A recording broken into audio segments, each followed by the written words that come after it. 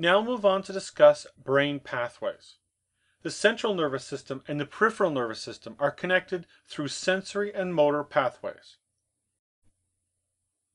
The brain and spinal cord are connected through sensory and motor tracts, as well as their associated nuclei. The pathways are organized bilaterally in the spinal cord and according to the innervation target. These tracts are named based on the origin and destination of the neurons within the tract. The sensory pathways deliver millions of impulses to the brain to organize and send out the necessary motor responses. The motor pathways are made up of at least two motor neurons, the upper motor neuron and the lower motor neuron.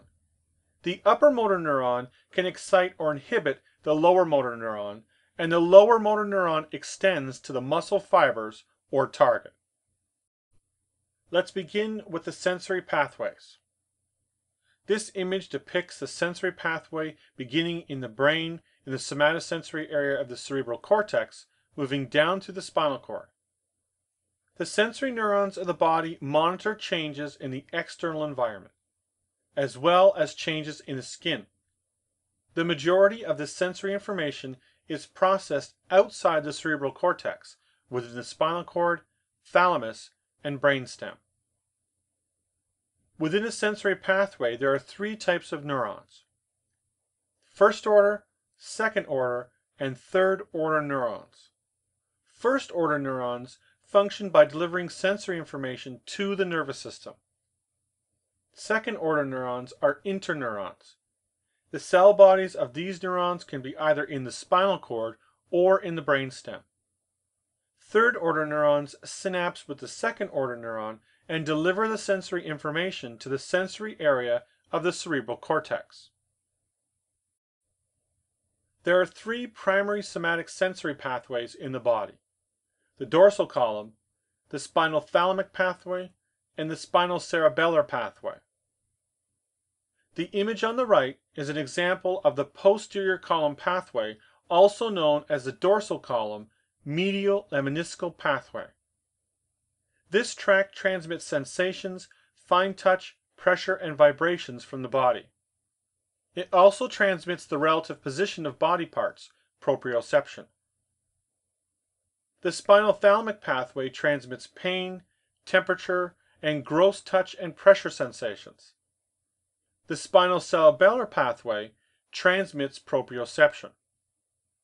As you can see in the image on the right, sensory information comes in through the first order neuron. Then it's passed to the second order neuron and ends up in the third order neuron within the brain. The motor pathways. The motor pathways are descending pathways, and they're organized into the following. Number one, the cortical spinal pathway. This includes the cortical bulbar tract, the lateral cortical spinal, and the anterior cortical spinal tract. Number two is the medial pathway. This includes the vestibulospinal, tectospinal, and the reticulospinal tract. Number three is the lateral pathway. This includes the rubrospinal tract. These tracts transmit the motor commands of the body in response to sensory information transmitted by the sensory pathways. The motor pathways of the body are organized into the somatic nervous system, which innervates muscles, and the autonomic nervous system, which innervates smooth muscle, cardiac muscle, and glands. The motor descending tracts are highlighted in red in this image. The motor homunculus. The image in this slide depicts both the motor and the sensory somatotopic maps.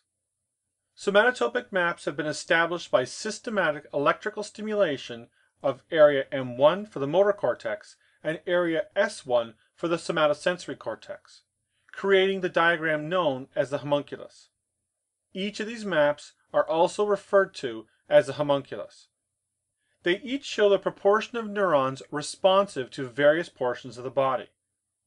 There's a stark difference between the representation of motor and sensory cortex. For example, the foot has a larger representation in the sensory cortical map than the motor cortical map.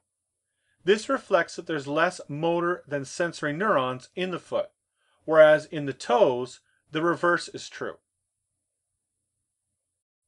The other two motor pathways of the body are the medial and lateral motor pathways. The medial motor pathway functions by controlling the muscle tone and the gross movements of the neck, trunk, and proximal limb muscles. The upper motor neurons for the medial pathway are located in the following nuclei: the vestibular, superior and inferior colliculus, and the reticular formation. The lateral motor pathway controls the muscle tone and movements of distal portions of the upper limbs. And the upper motor neurons are located in the red nucleus superior to the reticular formation.